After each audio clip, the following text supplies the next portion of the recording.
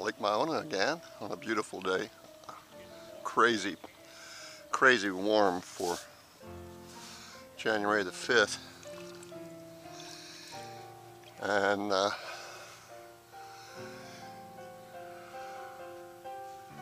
it's just beautiful out here. All right, backing out.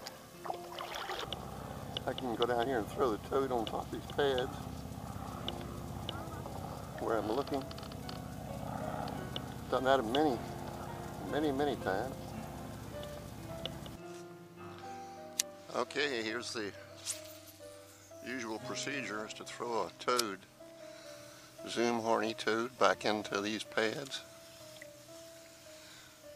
And you see my bait coming through there. It's a nice thing about the horny toad, it gets up on top of the pads and then drops down between them. And I've got the slightest east wind just carrying me right down this pad line. nope. There's a lot of hydrilla, big bed of hydrilla right off these pads. Well, I've drifted down here to the fence and throwing this horny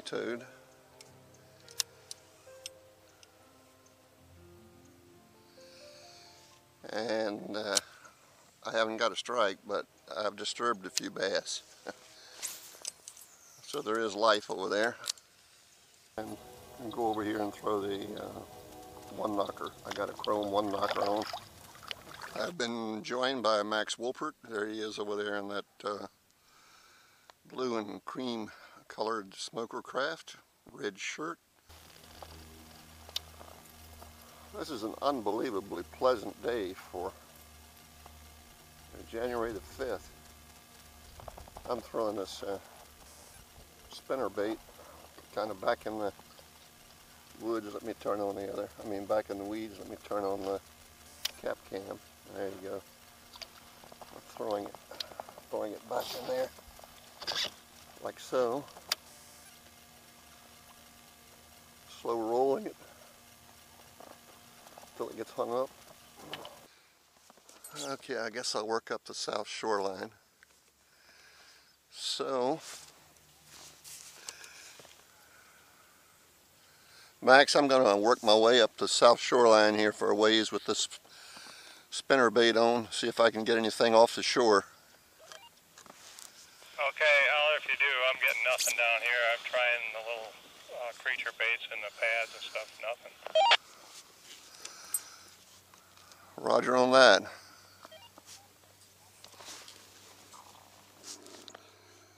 I think this is a pretty scene up through here. This is the uh, south shoreline of uh, Lake and there happens to be a fisherman up ahead there on the shoreline.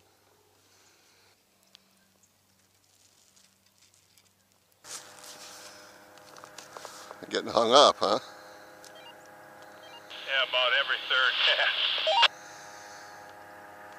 Even on a horny toad? Yeah, the horny toad's the one I was hanging up on.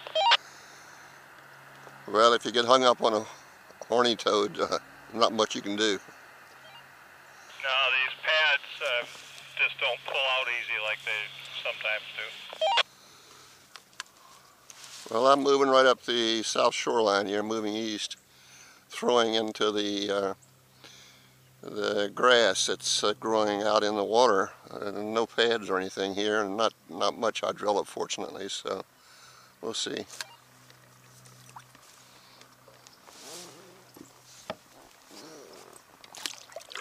the grass might be a good place to be. See, it's got a trailer hook on it. See a trailer hook there? Even picked up some some weeds coming through it Little sinker on here. I think it just, it's got some beads on it too, and I think it just contributes to the... I just missed a nice fish. Hey, did you hear that? Max just, just missed a nice fish. What's the details on that fish? I was, I was coming away from the pads there, trolling, and uh, just kind of jerking the one knocker, and bam, hit it, and as soon as I pull back, boom, off he goes. I could I could tell it was definitely a fish. Well, I'd rather fish with a one knocker than I had this stuff I'm trying to catch on now, so I don't know, maybe I'll just go back to uh, a crankbait and fish down uh, toward the east end and uh, see what happens. Yeah, I'm headed down your way. I'm out in uh, six feet of water. Lots of uh, either bait fish or schools of stuff down there, brush or whatever. But that was a good hit. Just never hooked them up. Is that you? Is that you in the uh, southwest corner down there? Roger. Is that you in the southwest corner? Yeah, that's me. Okay. All right. Hmm. Copy that. Roger on that. Southwest corner.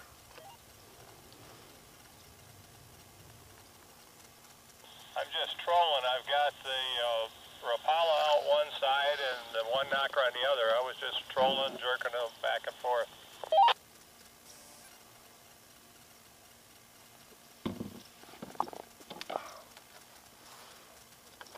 Well, that's something new. Uh, I could do that very nicely. Just just pedal down the lake with a couple of rods out.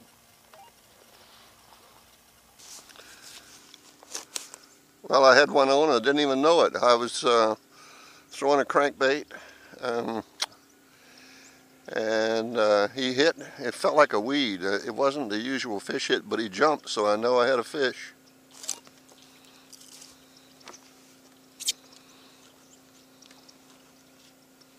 Yeah, that sounds a little better.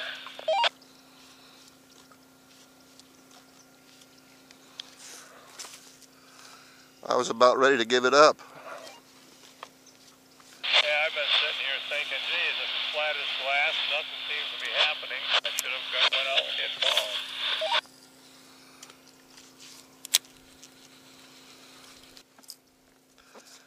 Well, hitting balls never occurred to me. Yeah, I hear you. was a waiver on uh, the uh, one knocker. Waiver fish on the one knocker. Okay. It's pretty shallow down there. I'm surprised uh, you can throw the one knocker.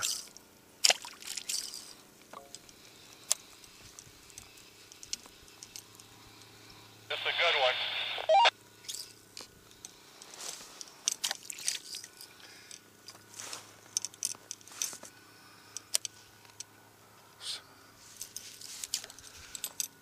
Seems you've gotten into them.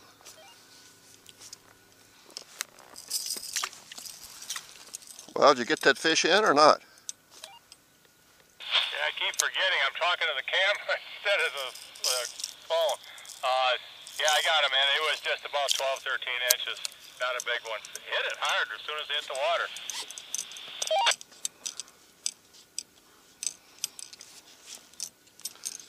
Roger on that. Sometimes those those small fish can really knock the heck out of the bait.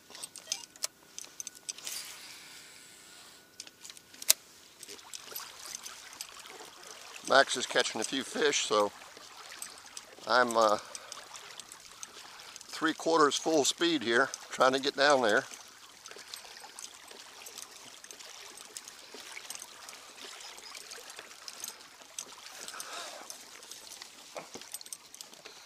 Four and a half miles per hour.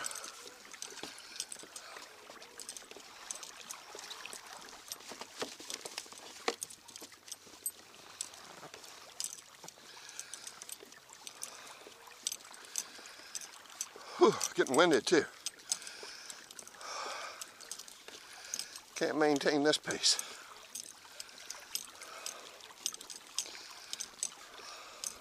Need a motor. You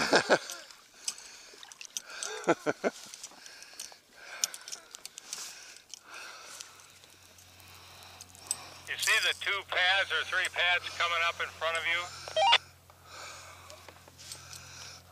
Not yet. You're, he- you're headed right at them. If you keep coming, you'll see just a couple little pads on the surface. Try that first. there's another set uh, straight northwest of me, and that's where I've been throwing to. Try right from that set in front of you and come on down to the other one. I haven't had a hit. Yeah, I see them there. Sorry, I talked over you. I, I see the pad you're talking about.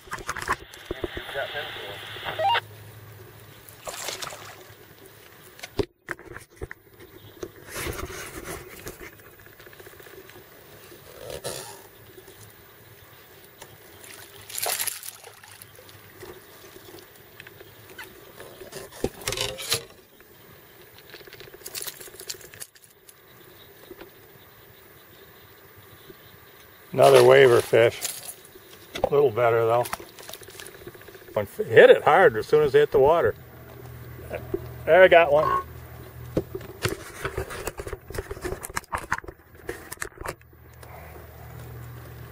I got one on.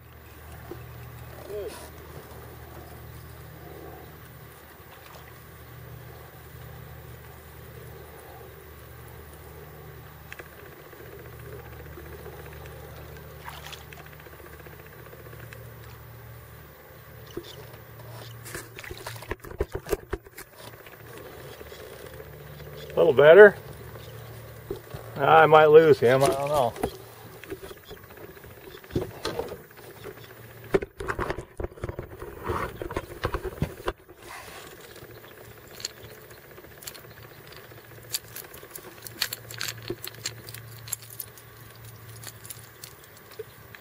Yeah, he's he's a 13er.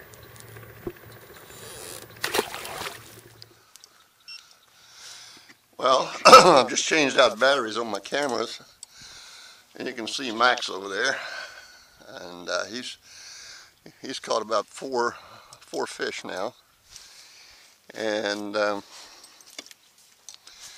here's to him.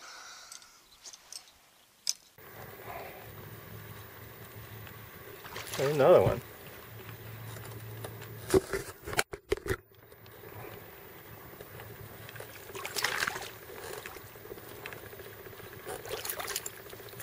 Another small one. Well, not too bad.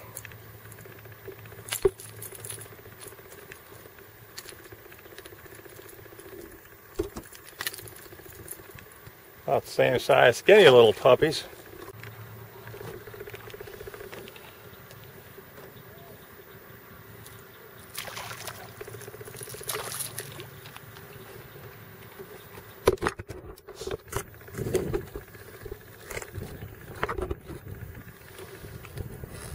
That's a better one. I just switched over to the uh, to the uh, Rapala and put a little weight on it. First cast.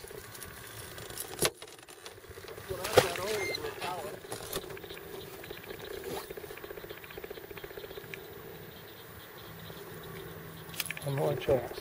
Come on. Yeah.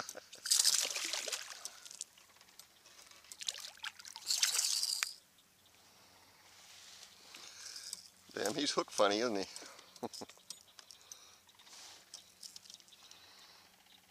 Got a dink. Aruka shad.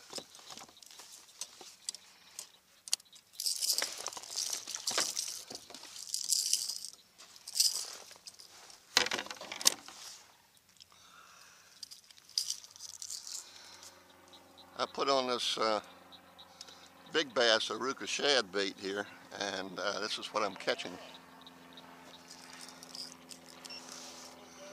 That's a dink, absolute dink there.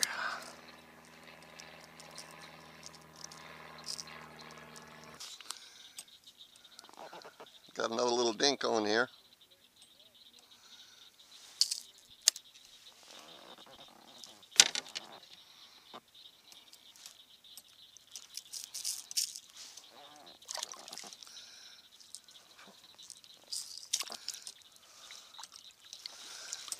As soon as I put on this Aruka shad, golden black, which is my favorite bait for over in uh, Think the school moved over and said Jerry needs some fish. Yeah, these are sympathy fish. And they're so small, I can't tell when I got one on until he, he breaks water, you know, before I get him to the boat.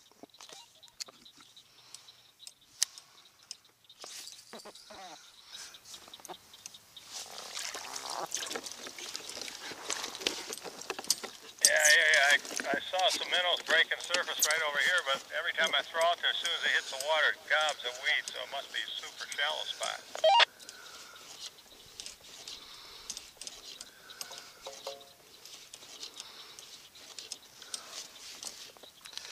Yeah, tough to fish that.